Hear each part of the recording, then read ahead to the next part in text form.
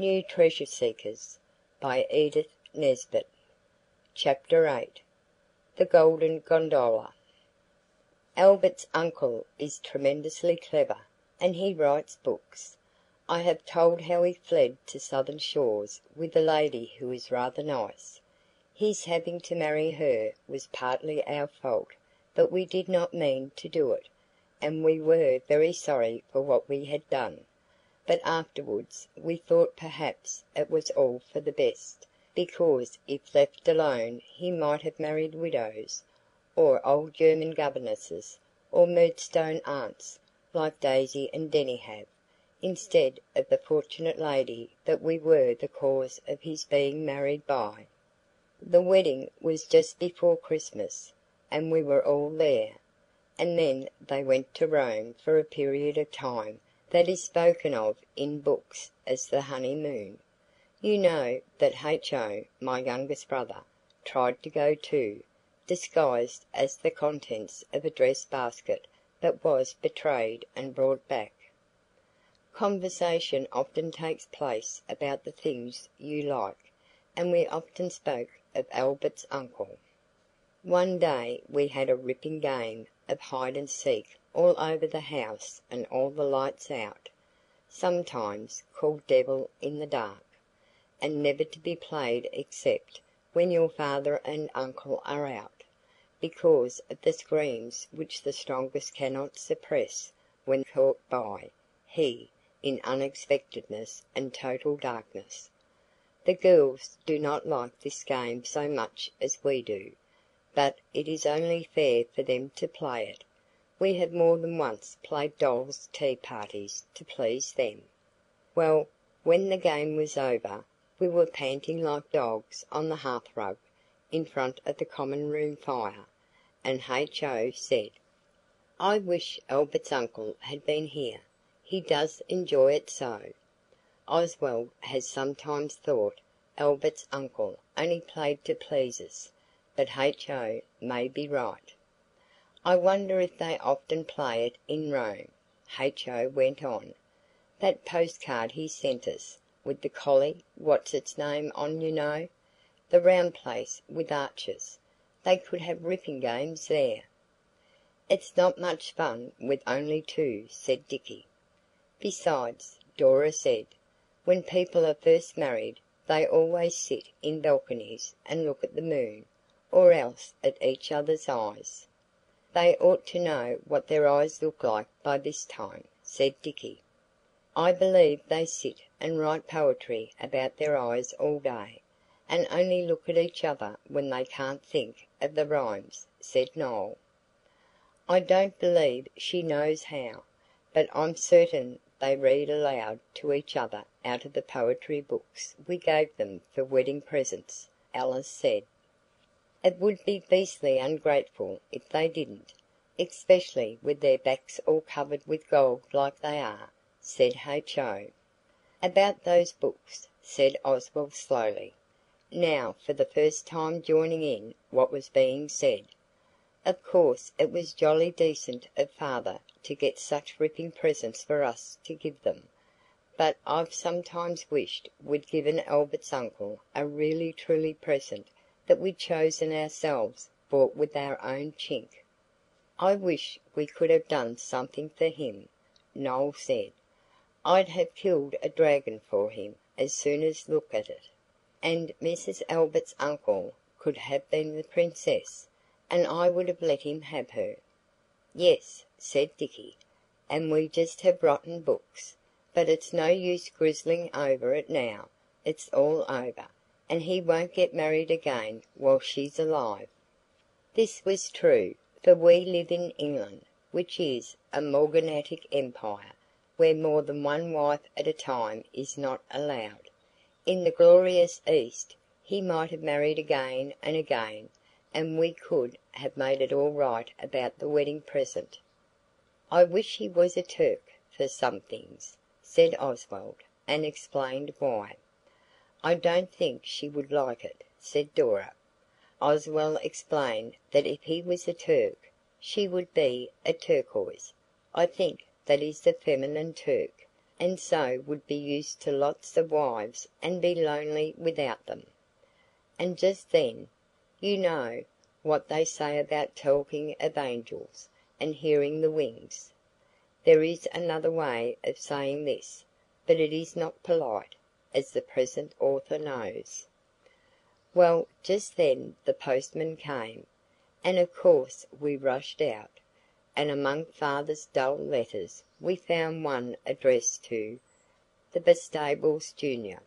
It had an Italian stamp, not at all a rare one, and it was a poor specimen too, and the postmark was Roma. That is what the Italians have got into the habit of calling Rome. I have been told that they put the "a" instead of the "e", because they like to open their mouths as much as possible in that sunny and agreeable climate. The letter was jolly. It was just like hearing him talk. I mean reading, not hearing of course, but reading him talk is not grammar, and if you can't be both sensible and grammatical it is better to be senseless. "Well, kiddies," it began, and it went on to tell us about things he had seen not dull pictures and beastly old buildings, but amusing incidents of comic nature. The Italians must be extreme Jugginses, for the kind of things he described to be of such everyday occurring. Indeed Oswald could hardly believe about the soda water label that the Italian translated for the English traveller so that it said, "To distrust of the mineral waters too fountain like foaming, they spread the shape." Near the end of this letter came this: "You remember the chapter of the Golden Gondola that I wrote from the People's Pageant just before I had the honour to lead to the altar, etc. I mean the one that ends in the subterranean passage, with Geraldine's hair down, and her last hope gone and the three villains stealing upon her with the Venetian subtlety in their hearts and Toledo daggers (specially imported) in their garters? I didn't care much for it myself, you remember. I think I must have been thinking of other things when I wrote it, but you, I recollect, consoled me by refusing to regard it as other than ripping. Clinking was, as I recall it Oswald's consolatory epithet. You'll weep with me, I feel confident, when you hear that my editor does not share your sentiments. He writes me that it is not up to my usual form. He fears that the public, etc., and he trusts that in the next chapter, etc. Let us hope that the public will in this matter take your views, and not his. Oh! for a really discerning public, just like you, you amiable critics. Albert's new aunt is leaning over my shoulder. I can't break her of the distracting habit. How on earth am I ever to write another line? Greetings to all, from Albert's uncle and aunt. P.S. She insists on having her name put to this, but of course she didn't write it. I am trying to teach her to spell. P.S.S. Italian spelling, of course. "And now," cried Oswald, "I see it all." The others didn't. They often don't when Oswald does. "Why, don't you see?" he patiently explained, for he knows that it is vain to be angry with people because they are not so clever as–as other people. It's the direct aspiration of fate. He wants it, does he? Well, he shall have it. "What?" said everybody. "We'll be it." "What?" Was the not very polite remark now repeated by all. Why, his discerning public. And still they all remained quite blind to what was so clear to Oswald, the astute and discernful. "It will be much more useful than killing dragons," Oswald went on, "especially as there aren't any, and it will be a really truly wedding present, just what we were wishing we'd give him." The five others now fell on Oswald and rolled him under the table and sat on his head, so that he had to speak loudly and plainly. "All right, I'll tell you, in words of one syllable if you like. Let go, I say." And when he had rolled out with the others and the tablecloth had caught on H.O.'s boots and the books and Dora's workbox and the glass of paint water that came down with it, he said– "We will be the public. We will all write to the editor of the People's Pageant, and tell him what we think about the Geraldine chapter. Do mop up that water, Dora; it's running all under where I'm sitting." "Don't you think," said Dora, devoting her handkerchief and Alice's in the obedient way she does not always use, "that six letters all signed Bastable, and all coming from the same house, would be rather–rather–" "A bit too thick, yes," said Alice; "but, of course, we'd have all different names and addresses." "We might as well do it thoroughly," said Dicky, "and send three or four different letters each." "And have them posted in different parts of London. Right o!" remarked Oswald. "I shall write a piece of poetry for mine," said Noël. "They ought all to be on different kinds of paper," said Oswald. "Let's go out and get the paper directly after tea." We did, but we could only get fifteen different kinds of paper and envelopes, though we went to every shop in the village. At the first shop, when we said, "Please, we want a penn'orth worth of paper and envelopes of each of all the different kinds you keep," the lady of the shop looked at us thinly over blue rimmed spectacles, and said, "What for?" And H.O. said, "To write unanimous letters." "Anonymous letters are very wrong," the lady said, and she wouldn't sell us any paper at all. But at the other places we did not say what it was for, and they sold it us. There were bluey and yellowy and grey and white kinds, and some was violet–ish, with violets on it, and some pink, with roses. The girls took the floribus ones, which Oswald thinks are unmanly for any but girls, but you excuse their using it. It seems natural to them to mess about like that. We wrote the fifteen letters, disguising our handwritings as much as we could. It was not easy. Oswald tried to write one of them with his left hand, but the consequences were almost totally unreadable. Besides, if any one could have read it, they would only have thought it was written in an asylum for the insane. The writing was so delirious, so he chucked it. Noël was only allowed to write one poem. It began– "Oh, Geraldine, oh, Geraldine, You are the loveliest heroine I never read about one before That made me want to write more poetry. And your Venetian eyes, They must have been an awful size, And black and blue, and like your hair. And your nose and chin were a perfect pair." And so on for ages. The other letters were all saying what a beautiful chapter "Beneath the Dog's Home" was, and how we liked it better than the other chapters before, and how we hoped the next would be like it. We found out when all too late that H.O. had called it the Dog's Home, but we hoped this would pass unnoticed among all the others. We read the reviews of books in the old Spectators and Athenæums, and put in the words they say there about other people's books. We said we thought that chapter about Geraldine and the Garters was subtle and masterly, and inevitable; that it had an old world charm, and was redolent of the soil.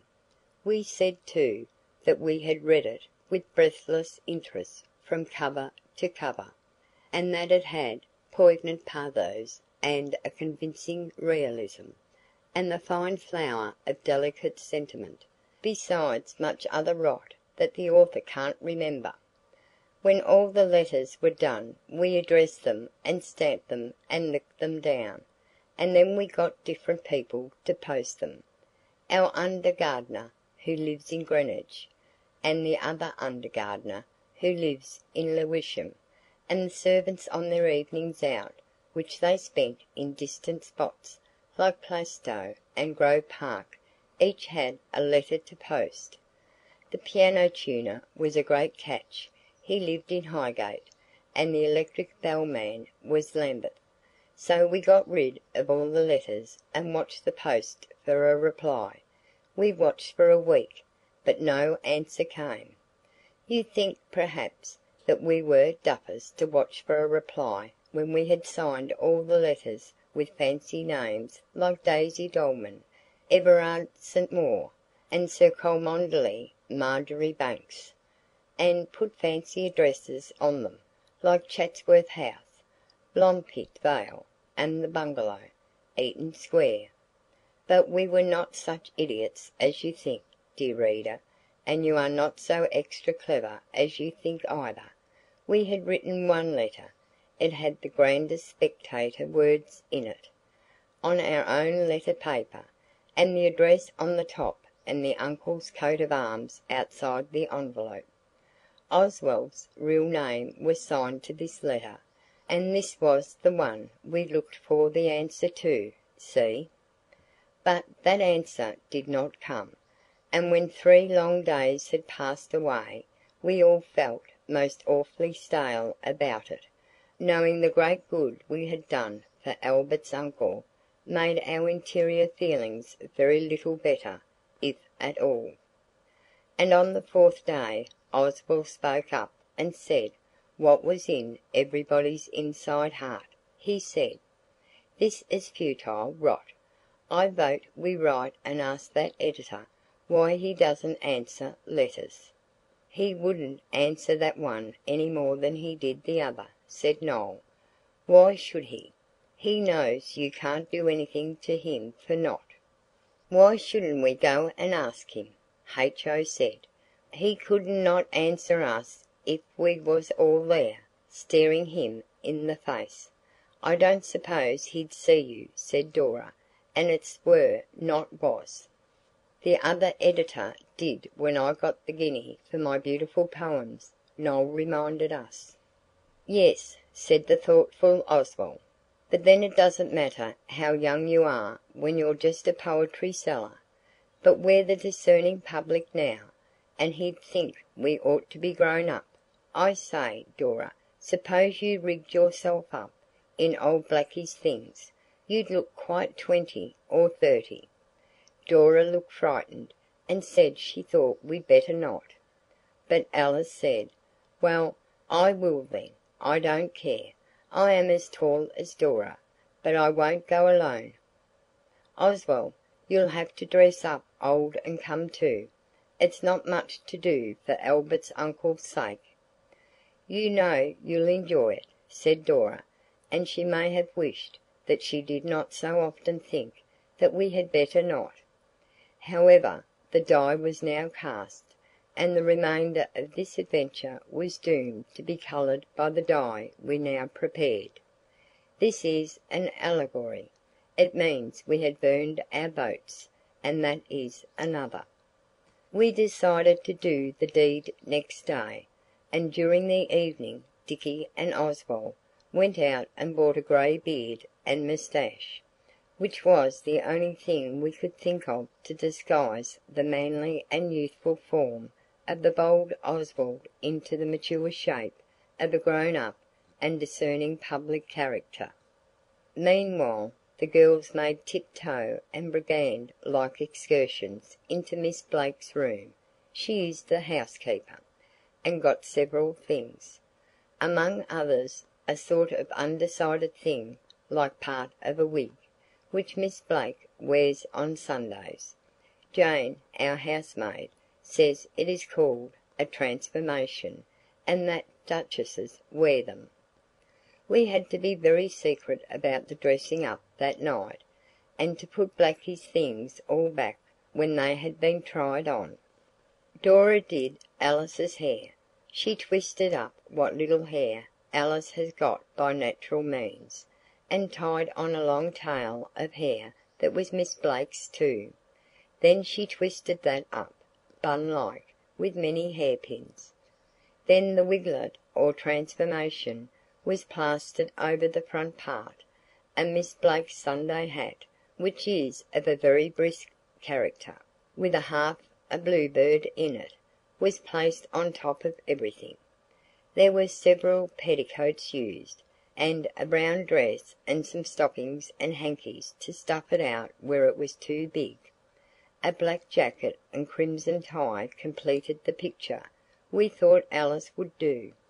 Then Oswald went out of the room, and secretly assumed his dark disguise, but when he came in with the beard on, and a hat of father's, the others were not struck with admiration and respect, like he meant them to be.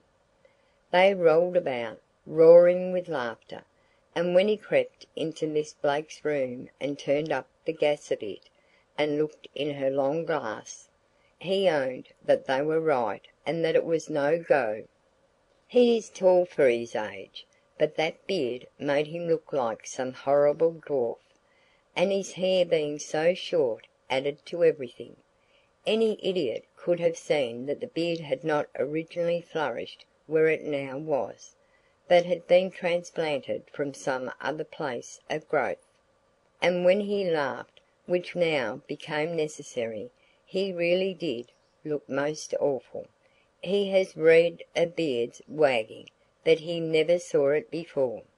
While he was looking at himself, the girls had thought of a new idea. But Oswald had an inside presentiment that made it some time before he could even consent to listen to it. But at last, when the others reminded him that it was a noble act, and for the good of Albert's uncle, he let them explain the horrid scheme in all its lurid parts. It was this: that Oswald should consent to be disguised in women's raiments and go with Alice to see the Editor.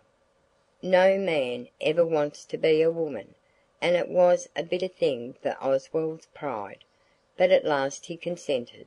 He is glad he is not a girl.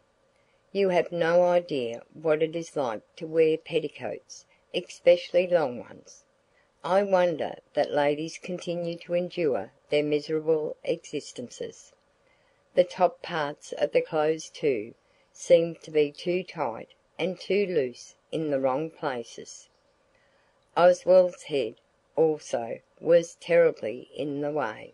He had no wandering hairs to fasten transformations on to, even if Miss Blake had had another one, which was not the case. But the girls remembered a governess they had once witnessed whose hair was brief as any boy's, so they put a large hat, with a very tight elastic behind, on to Oswald's head, just as it was, and then with a tickly, pussyish, featherish thing round his neck, hanging wobbly down in long ends. He looked more young ladylike than he will ever feel. Some courage was needed for the start next day. Things looked so different in the daylight. "Remember Lord Nithsdale's coming out of the Tower," said Alice. "Think of the great cause and be brave," and she tied his neck up. "I'm brave all right," said Oswald, "only I do feel such an ass." "I feel rather an ape myself," Alice owned, "but I've got three penn'orth of peppermints to inspire us with bravery. It is called Dutch courage, I believe. Owing to our telling Jane, we managed to get out unseen by Blackie. All the others would come, too, in their natural appearance, except that we made them wash their hands and faces. We happened to be flush of chink, so we let them come. "But if you do," Oswald said, you must surround us in a hollow square of four." So they did, and we got down to the station all right. But in the train there were two ladies who stared, and porters and people like that came round the window far more than there could be any need for. Oswald's boots must have shown as he got in. He had forgotten to borrow a pair of Jane's, as he had meant to, and the ones he had on were his largest. His ears got hotter and hotter, and it got more and more difficult to manage his feet and hands. He failed to suck any courage, of any nation, from the peppermints.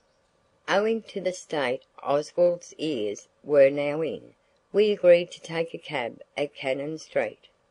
We all crammed in somehow, but Oswald saw the driver wink as he put his boot on the step, and the porter who was opening the cab door winked back, and I am sorry to say Oswald forgot that he was a high born lady, and he told the porter that he had better jolly well stow his cheek. Then several bystanders began to try and be funny, and Oswald knew exactly what particular sort of fool he was being. But he bravely silenced the fierce warnings of his ears, and when he got to the editor's address we sent Dick up with a large card that we had written on, "Miss Daisy Dolman and the Right Honourable Miss Etheltruda Bustler, on urgent business." and Oswald kept himself and Alice concealed in the cab till the return of the messenger. "All right, you're to go up," Dicky came back and said, but the boy grinned who told me so. "You'd better be jolly careful." We bolted like rabbits across the pavement and up the editor's stairs. He was very polite. He asked us to sit down, and Oswald did.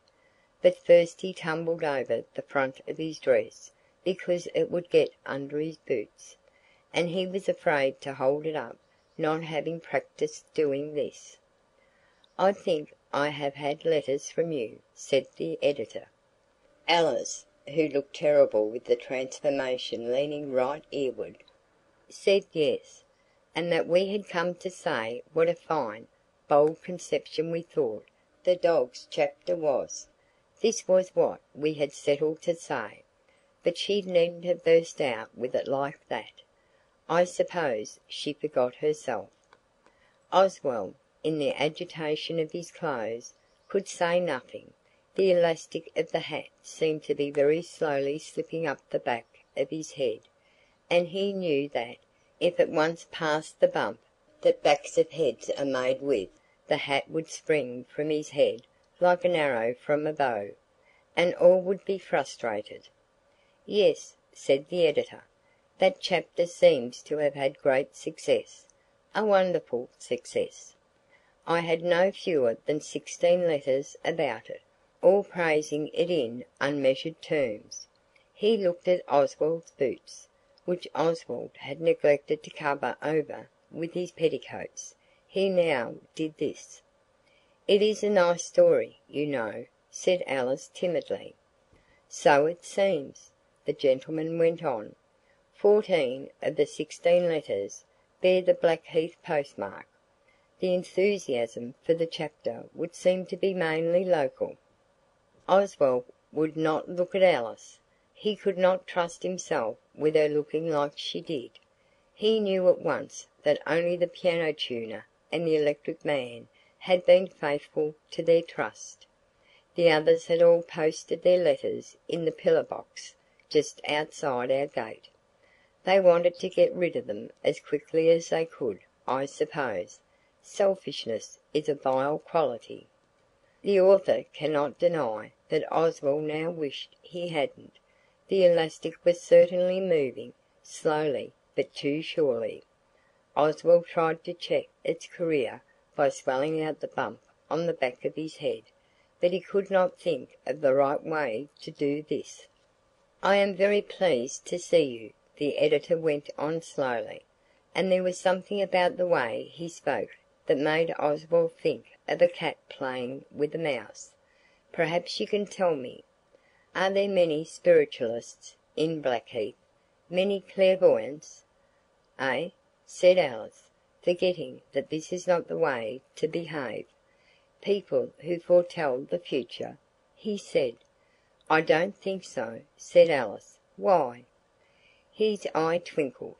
Oswald saw he had wanted her to ask this. "Because," said the Editor, more slowly than ever, "I think there must be. How otherwise can we account for the chapter about the dog's home being read and admired by sixteen different people before it is even printed? That chapter has not been printed. It has not been published. It will not be published till the May number of the People's Pageant. Yet in Blackheath sixteen people already appreciate its subtlety and its realism and all the rest of it. How do you account for this, Miss Daisy Dolman?" "I am the Right Honourable Etheltruda," said Alice. "At least–oh, it's no use going on. We are not what we seem." "Oddly enough, I inferred that at the beginning of our interview," said the Editor. Then the elastic finished slipping up Oswald's head at the back, and the hat leapt from its head exactly as he'd known it would. He fielded it deftly, however, and it did not touch the ground. "Concealment," said Oswald, "is at an end." "So it appears," said the Editor. "Well I hope next time the author of the Golden Gondola will choose his instruments more carefully." "He didn't. We aren't," cried Alice, and she instantly told the Editor everything. Concealment being at an end, Oswald was able to get his trousers pocket (it did not matter now how many boots he showed) and to get out Albert's uncle's letter. Alice was quite eloquent, especially when the Editor made her take off the hat with the bluebird, and the transformation and the tail, so that he could see what she really looked like. He was quite decent when he really understood how Albert's uncle's threatened marriage must have upset his brain while he was writing that chapter and pondering on the dark future. He began to laugh then, and kept it up till the hour of parting. He advised Alice not to put on the transformation and the tail again to go home in, and she didn't. Then he said to me, "Are you in a finished state under Miss Daisy Dolman?" And when Oswald said, "Yes," the Editor helped him to take off the womanly accoutrements, and to do them up in brown paper, and he lent him a cap to go home in. I never saw a man laugh more. He is an excellent sort. But no slow passage of years, however many, can ever weaken Oswald's memory of what those petticoats were like to walk in, and how ripping it was to get out of them, and have your own natural legs again. We parted from the Editor without a strain on anybody's character. He must have written to Albert's uncle, and told him all for we got a letter next week. It said– "My dear Kiddies, Art cannot be forced, nor can fame. May I beg you for the future to confine your exertions to blowing my trumpet, or Fame's, with your natural voices? Editors may be led, but they won't be druv. The Right Honourable Miss Etheltruda Bustler seems to have aroused a deep pity for me in my editor's heart let that suffice. And for the future permit me, as firmly as affectionately, to reiterate the assurance with the advice which I have so often breathed in your long young ears. I am not ungrateful, but I do wish you would mind your own business." "That's just because we were found out," said Alice. "If we'd succeeded, he'd have been sitting on the top of the pinnacle of fame and he would have owed it all to us. That would have been making him something like a wedding present. What we had really done was to make something very like, but the author is sure he has said enough. End of chapter